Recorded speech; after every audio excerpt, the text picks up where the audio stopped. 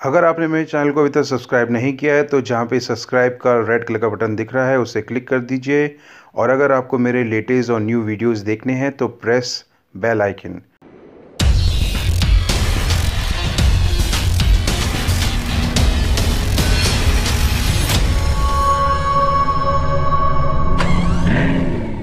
भारत में जल्द ही लॉन्च होने वाले हैं छह जीबी रैम वाला यह स्मार्टफ़ोन। चलिए इस स्मार्टफ़ोन के बारे में विस्तार से जानते हैं।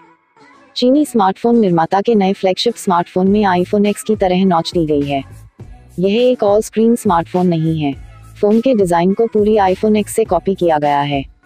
नॉच के अल बा स्मार्टफ़ोन में ड्यू रियर कैमरा सेटअप है जो रियर पैनल पर वर्टिकल डिज़ाइन के साथ आता है।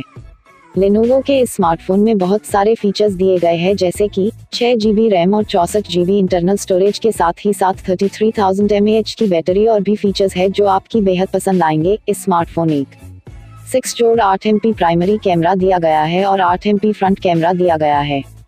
यह फ़ोन में पाँच दशमलव नौ नौ इंच के टच स्क्रीन डिस्प्ले के साथ आता है। इस स्मार्टफ़ोन को फास्ट काम करने के लिए छह सौ छत्तीस चिपसेट से लेस है। कीमत इस स्मार्टफ़ोन को भारत में जल्द ही लॉन्च किया जाएगा और इस स्मार्टफ़ोन की कीमत की उम्मीद तेरह हज़ार नौ सौ नब्बे रूपए रखा जाएगा।